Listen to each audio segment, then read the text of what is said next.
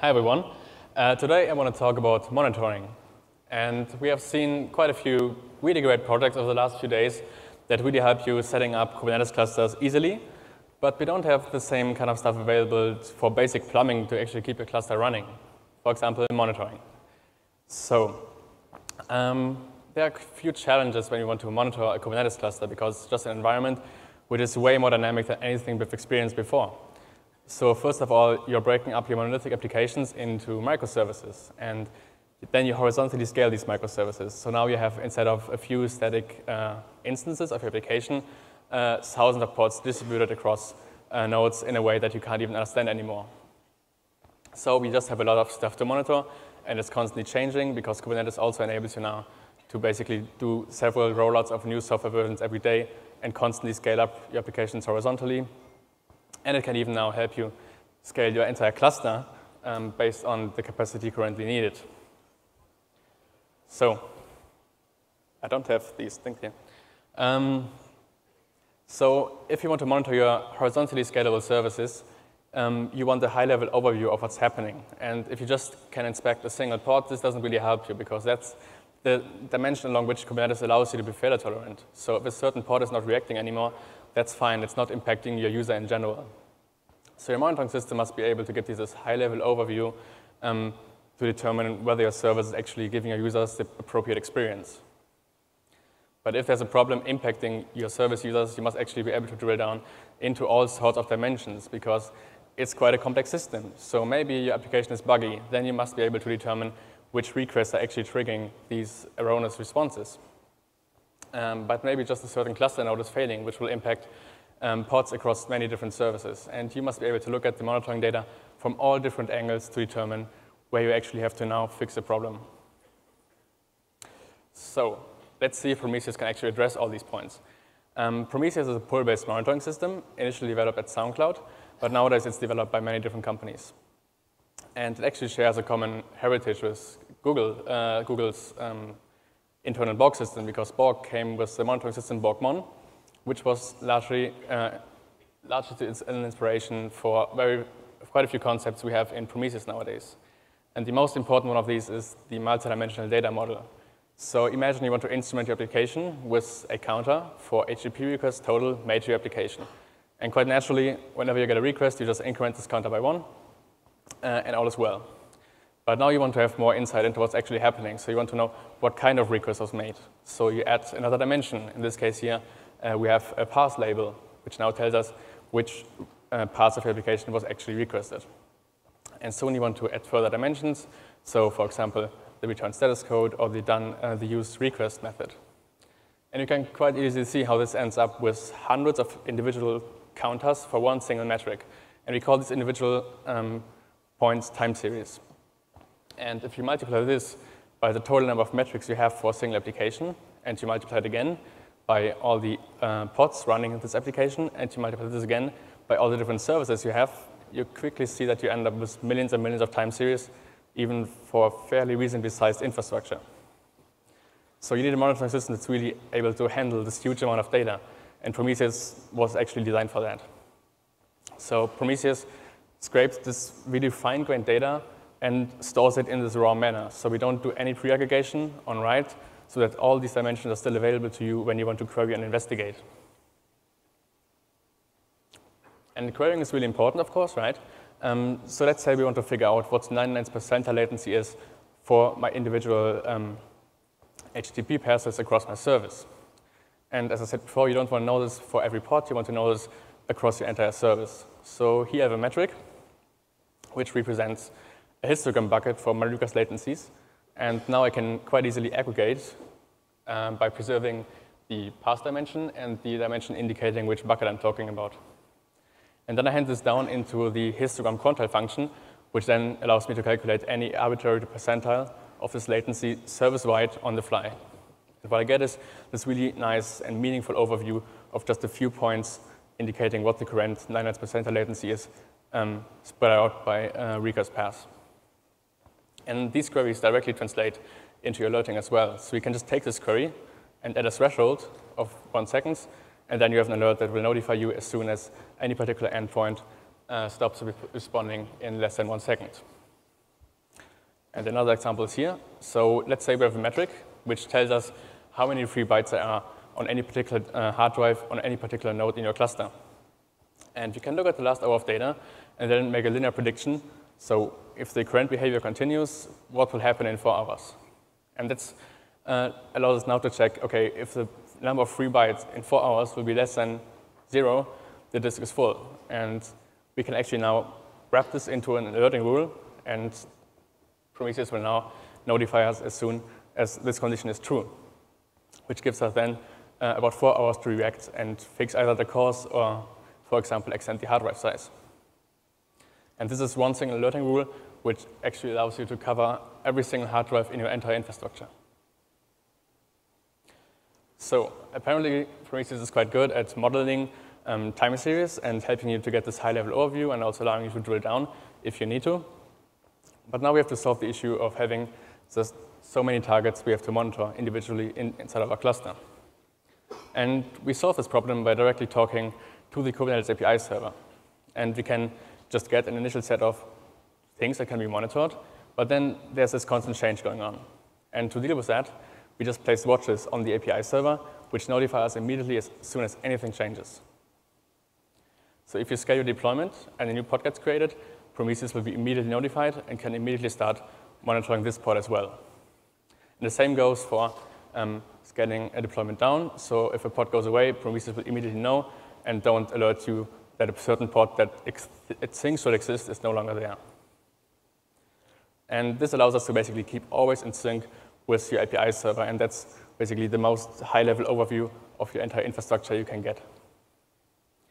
And this actually allows us now to go even further. So by being a pull-based monitoring system and pulling our target information ourselves, we have access to all this meta information.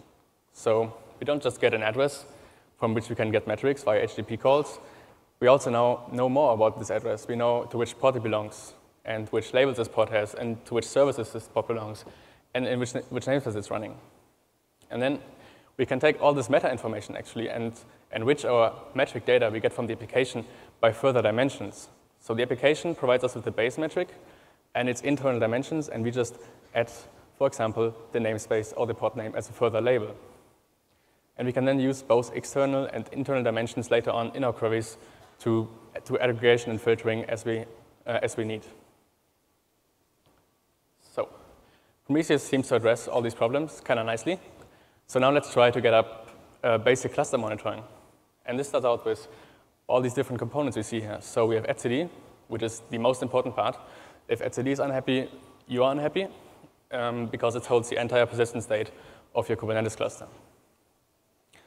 And then you have, of course, of course, your nodes. And nodes don't expose metrics in the Prometheus uh, metric format, but the node exporter is a small utility which you can deploy as a daemon set, and then it will collect all sorts of metrics from your operating system and make it available to Prometheus. And then, of course, you have the kubelet, and the kubelet is the local agent of Kubernetes running on every cluster node, and this one exposes metrics about its internal uh, state. So, for example, whether it can talk to the API server or not. And the same goes for actually any other Kubernetes components. So we have the API server, the controller manager, um, the scheduler, and all these exposed metrics about um, their internals.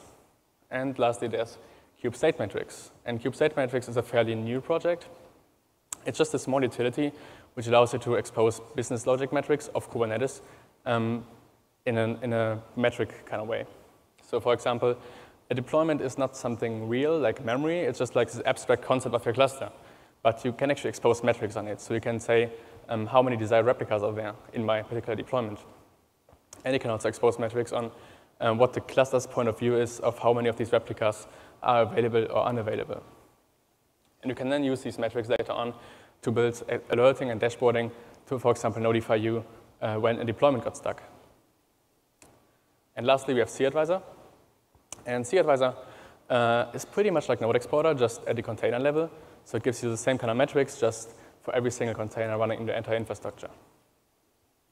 And if you combine all these together, it's actually quite a good picture of metrics across uh, of our entire cluster. And if you get all these metrics, actually we are pretty complete if it comes to monitoring the cluster itself.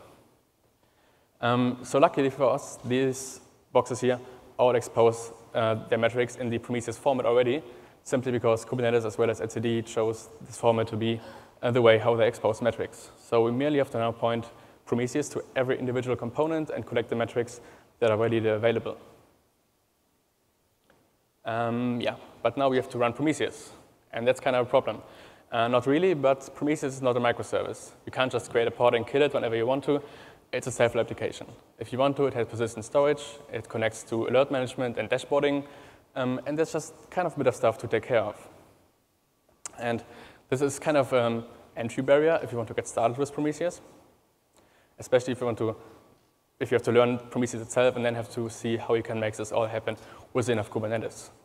And that's why at CoreOS we came up with the operator concept, um, which simply means we take operational domain knowledge of a certain application and express it as source code.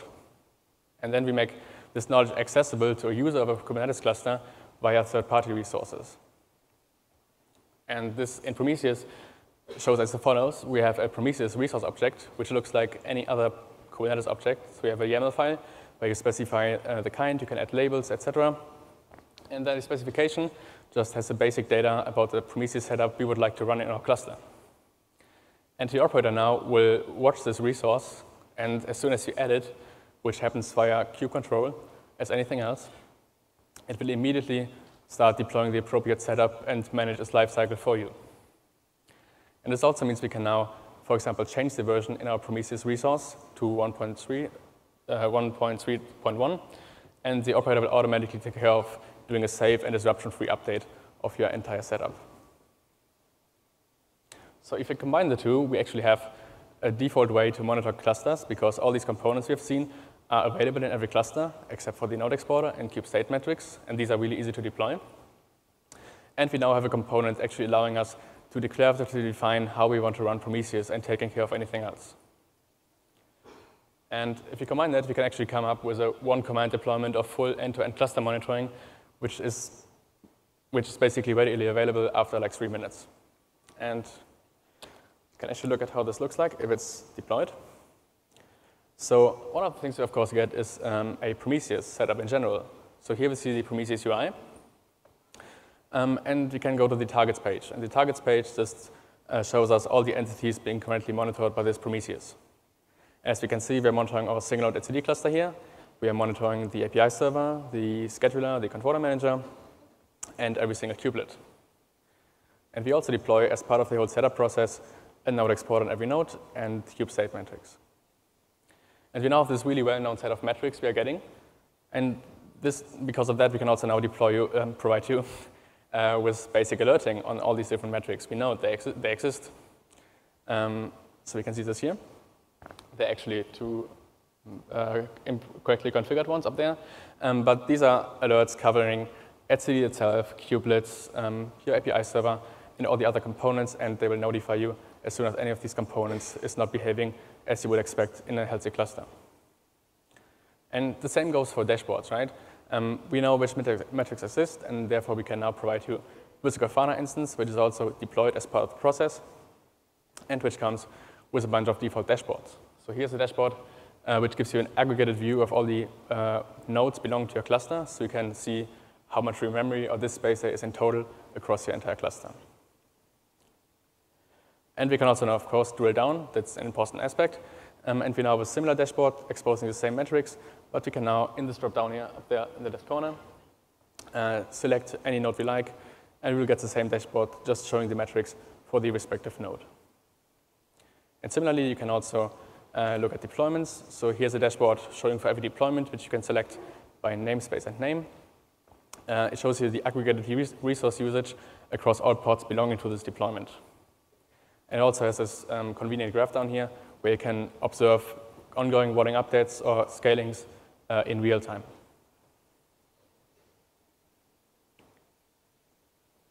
So all of this comes with just a single command.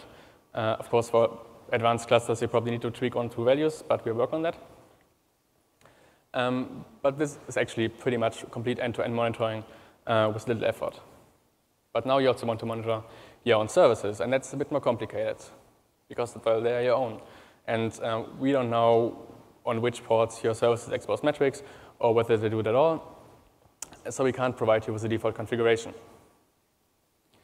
But in general, the best people to actually uh, set up monitoring for service and interpret the data are the people who wrote it and instrumented it. Because who could be more competent uh, to interpret metric data than the person who actually uh, determined it should be there in the first place? So ideally, everyone developing an application and deploying it inside of a cluster would be able to self-service uh, monitoring for this as well. Uh, ideally, monitoring would be, part, would be a cluster feature, which any, anyone can use. So just as people can do their own deployments, they can now also do their own monitoring without ever having to know about how to operate Prometheus or how to configure it to find the appropriate monitoring targets. So the operator kind of handles the part of deploying and operating Prometheus continuously. That's kind of nice. Um, but we need a way to configure uh, for our custom services how they can be monitored. And for that, the operator introduces another, another third-party resource, which we call a service monitor. And the service monitor um, declares for a group of services how they can be monitored in a common way. This is actually pretty straightforward um, because we can now use Kubernetes idioms to express how we want monitoring to happen. So first of all, we select which services this service monitor should apply to. And we know label selectors from Kubernetes services and persistent volume claims, for example. So nothing new here if you're familiar with the basic Kubernetes concepts.